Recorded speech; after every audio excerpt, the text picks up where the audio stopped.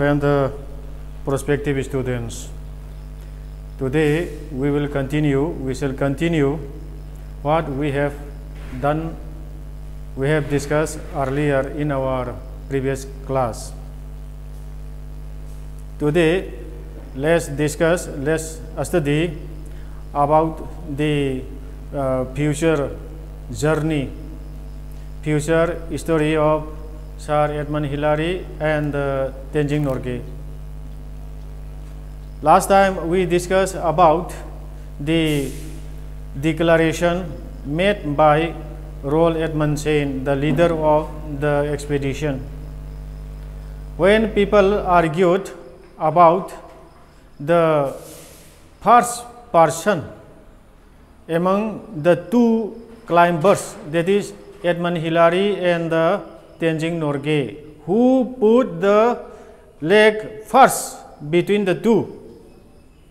And they were made such kind of belief that no one had any doubt when uh, Mr. Cecil John Hunn declared that they reach it together. They reach, they conquer the Everest as a team. Without any doubt, all the peoples of the world agreed to his declaration. After this, let us see, let us study about the future uh, journey of life about Edmund Hillary and uh, Tenzing Norgay. Sir Edmund Hillary continued his life of adventure, climbing mountains, and once crossing the Antarctic continent, lecturing and making public appearances, and serving as a New Zealand's High Commissioner to India, Bangladesh, and Nepal from 1985 to 1988. When just after his conquering his grand success, grand victory of over the Mount Everest, Hillary did not stop his journey. He continued his journey of life as a climber, as an adventurer, as a person who crossed the Antarctic continent. These are the major and the very hardship and the very difficult works performed by Hillary. And not only he made his adventures in uh, climbing and uh, in uh, winning other hardship and difficult tasks or activities, he also appeared before huge public gatherings and made lectures, very interesting and very effective lectures. And after this, he was uh, made the New Zealand's High Commissioner to India, Bangladesh, and Nepal for the years from 1985 to 1988. According to his qualities, his personalities, his performances in many varieties of activities, the New Zealand High uh, Government appointed him and the countries also accepted him as a High Commissioner in the countries of India, Bangladesh and uh, Nepal. After this, in more than five decades since the first successful assault on what climbers call the top of the world, more than 3,000 people, including Edmund's son Peter, Norgay's son Jamling, have reached the summit of Everest, while more than 200 people have died in the attempt, eight of them in 1996 expedition that was saved by a blizzard. After this, he did not stop his works in climbing. More than 3000 people could reach the Everest, where he and his friend Norgay conquer earlier. And he assisted and he gave them valuable instructions and the guidelines to reach, to conquer the Everest as they did. Among them, his son, Hilary's son, Mr. Peter, and Norgay's son, Zemling, were also joined the expeditions who conquered the Everest. And the more than 200 people died in the expedition. In the expedition. Then they, uh, how did they lose their lives? A phrase is given here. A phrase is given here. What kind of what phrase? Savaged by a blizzard, a storm, and the thunderbolt storm, and a very serious, very serious, very severe storm attacked them, and they lost their lives. Today, Everest expeditions are almost a commonplace. It has become a very commonplace, very quite common. On a single day in 2003, one one-eyed people were reported to have made it. It was reported that it was reported that one one-eyed 118 people have reached the Mount Everest. Some veteran climbers have criticized the commercialism and the circus, circus atmosphere surrounding surrounding Everest climbing.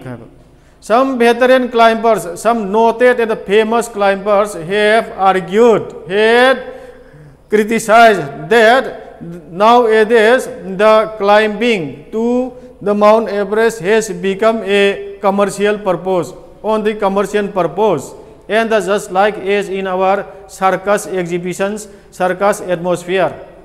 Just for earning money and the fame has become the common common place of such kind of difficult and the hardship climbing expeditions.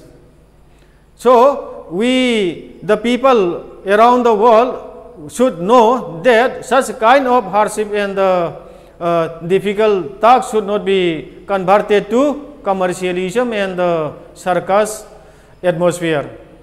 Tough, uh, robust, robust, six feet eight inches tall, with a long leathery and wrinkled face, Sir Edmund was an intelligent but unsophisticated man with tigerish confidence on a mountain but little taste for foreman social doings. Sir Edmund's description, his physical description is given here. He is of 6 feet and 8 inches tall and uh, he is not he was not a very fat and thick person he was a very leathery and wrinkled face wrinkle as you know which is becoming uh, fading. Sir Edmund was an intelligent person. He was a man of educate, high knowledge and the wisdom. For many years after the Everest climb, he continued to list his occupation as beekeeper, his father's pursuit, and he preferred to be known as ED. ED. Here we, uh, we can find what kind of activities, what kind of profession, his favorite profession was taken up by Sir Edmund Hillary. He was interested in beekeeping. He was a beekeeper. As his father preferred it and his father also wanted him to be known as ED. I think most of you might have learned the full of full name of this ED. ED ED Ed Ed Ed.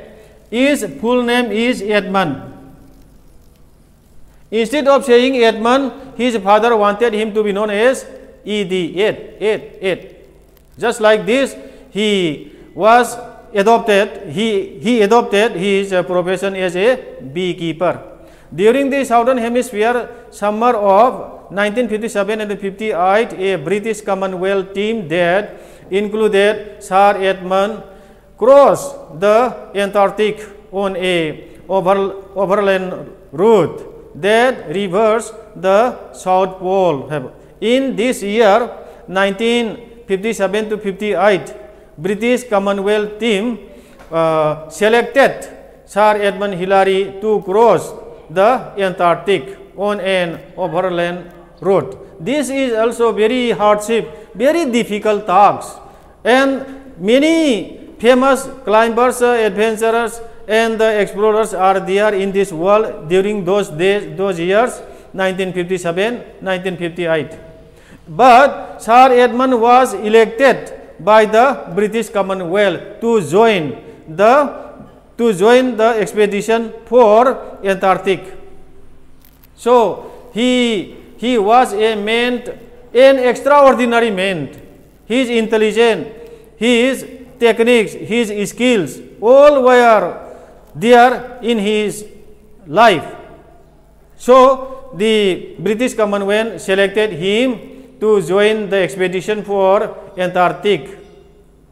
No one had attained the South Pole since Amundsen in 1911 and no one had ever crossed Antarctica. Here his glory, his fame is again uh, verified, again again supported by these lines. In 1911, Sir Amundsen, only Sir Amundsen could reach the South Pole. No one was there before him. And just after this, Sir Edmund Hillary also reached the South Pole. This is a very tough and uh, hardship difficult task. In this talks, Sir Edmund Hillary joined the expedition team and uh, he was a grand, uh, he made a very grand success in his South Pole expedition also. After this, in 1960, Sir Edmund led a highly publicized but unsuccessful search for the abominable snowman. Abominable, abominable snowman. Abominable snowman is nothing but an unidentified an unidentified humanoid humanoid humanoid animal any male, any man which is said to live in the Himalayas.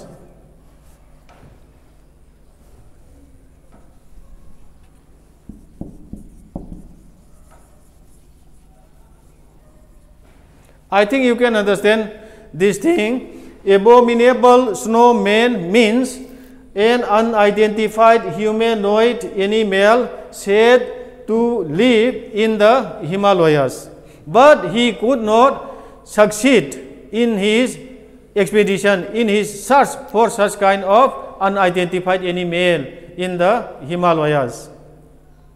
After this, in 1997, uh, in 1977, he led a jet boat expedition titled Ocean Sky from the mouth of the Ganges river to its source. It was also a very tough and uh, difficult task. He succeeded in these efforts also. In 1985, accompanied by Neil Armstrong, the first man to set foot on the moon, Sir Edmund flew a twin-engine sky plane over the Arctic and landed at the North Pole. The North Pole was also conquered by Sir Edmund Hillary with the help of, in the company of Neil Armstrong, who is famous for uh, reaching the Antarctic, uh, reaching the surface of the moon. In he was in uh, USA. Uh, uh, he was a person of he was a man of USA, United States of America, and uh, most of us know that the first person who put his foot on the moon is Neil Armstrong. He accompanied, Sir Edmund accompanied this Neil Armstrong and uh, could reach the Arctic with his skills and uh, intelligence. In the year 2007, he was reported to have suffered a fall during his visit to Kathmandu. Kathmandu, you know, the capital of Nepal. He went to Nepal and he fall uh, some unwell. He suffered a fall in Kathmandu. Sir Edmund wrote and was a co-author of 13 books, including No Latitude for Error. This is a book. This is a book written by Sir Edmund Hillary and some other books also written with the help of other authors. That is known as co-author. In 1961, Holder and Holder and the uh, staff told about the Antarctic experience. In this book entitled No Latitude for Error, the experience he met, he found in the Antarctic was given here that is known as the Antarctic experience. He also formed a foundation. He also formed a foundation that is Sir Edmund Hillary Himalayan Trust, which raised millions and built schools, clinics, airfields, other facilities for the Sherpa villages in Nepal. What kind of contributions uh, were made by Sir Edmund Hillary? Apart from being a famous world famous mountaineer, adventurer, explorer.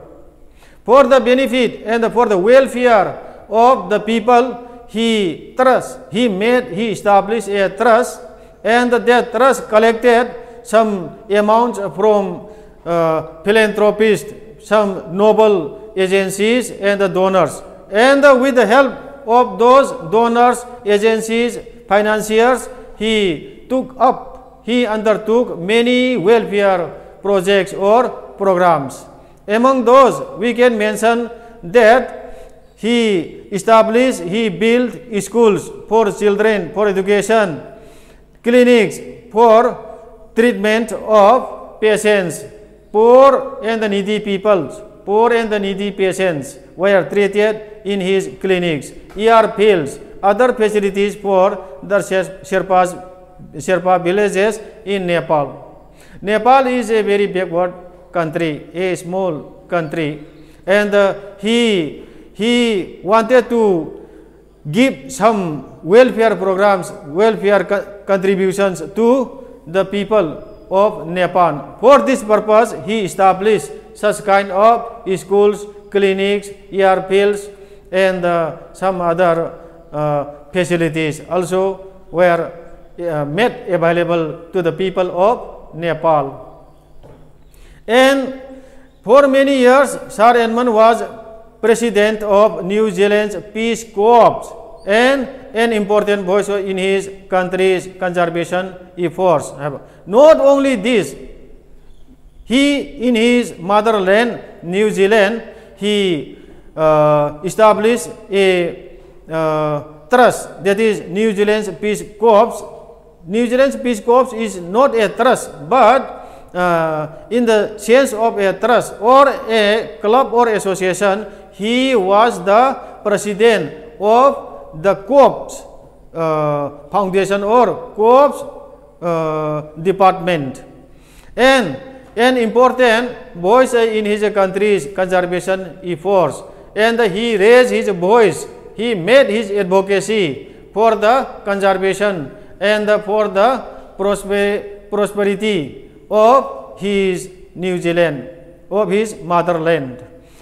Uh, then Sir Edmund's father and uh, his lifestyle, his father's occupation is yet to be highlighted here. Edmund Percival Hillary was born on July 20, 1919 in Taupua in Takao near Oakland, the son of Percival Augustus Hillary and uh, Gertrude Clark Hillary. The name of his father is Percival Augustus Hillary and his mother's name is Gertrude Clark Hillary. This our popular Hillary was born on 20, July 20, 1919. Where? It near Auckland, near Auckland in New Zealand. Such, this is the time period and the particulars about his parents. Then he was uh, he was the he was the first of the two brothers. He had a younger brother name is Rexford, work on the farm established by his father just for beekeeping activities. Sir Edmund began climbing as a youth while attending public schools in Auckland. In Auckland, he started his education in the schools in Auckland. He went to Auckland University, served in the Royal New Zealand Air Force as a navigator during the World War II. World War II. World War II continued from 1919 and ended on uh, 1935 to 1945. During those during those days, he was a navigator in the Royal New Zealand Air Force. After the war, he took climbing in in he took climbing instructions from leading alpinists, began to specialize in ice climbing techniques. Climb in the Swiss Alps and got to know British mountaineers with Himalayan experience.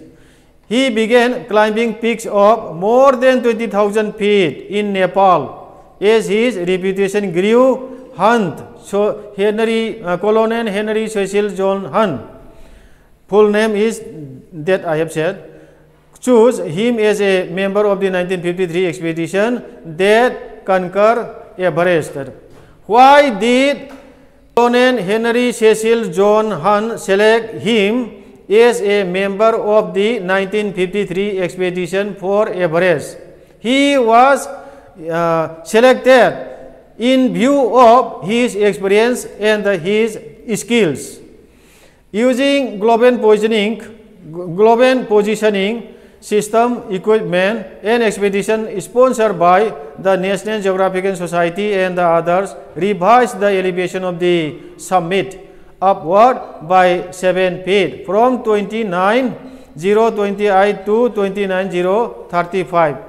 After when they reached the height of the Mount Everest above the sea level was 20, uh, 29 feet 035 but it was a little uh, decrease uh, it was a little increase from 29 to 28 29000 to 028 to 29035 standing above that pinnacle in 1953 was an experience sir edmund would recall many times in lectures and the quiet conversations. After this, he became the famous, world famous uh, explorer or the climber. Climber, apart from his interest in the development and the welfare of the people and the other representatives as high commissioners in India, Bangladesh, Nepal. Thus, uh, the world, the whole world around us lay spread out like a giant relief map. He told one interviewer, I am lucky man. I have had a dream and it has come true. And that is not a thing that happens often to men. He died of heart failure in 2008. Thus, he ended his life uh, from his heart failure, and uh, his remark is very, very important for all of us, for all the people of the next generations. He was a lucky man. I have had a dream. He had a big dream, a high dream. That dream came true in his life, and uh, that is not a thing that happens often to men. Such kind of dreams uh, may be had by every person, and those persons uh, who have such kind of dreams, high dreams, cannot realize, cannot make real uh, true for every man. Every man his his or her aim in life, but they may hit, they may gain, or they may lose. It is not always true that all aims and the ambitions uh, will become true. Just like this, our uh, story ends here, and the Sir Edmund Hillary is uh, remembered by the people of this world and will be remembered in the generations to come. So today, let's stop here. His story, the, saga of a mountaineer and the explorer, is finished here. And from the next uh, class, we shall give you our textual and the non-textual questions. Okay, thank you very much for listening. Our for seeing our class. With my heartiest thanks, let us stop here for today.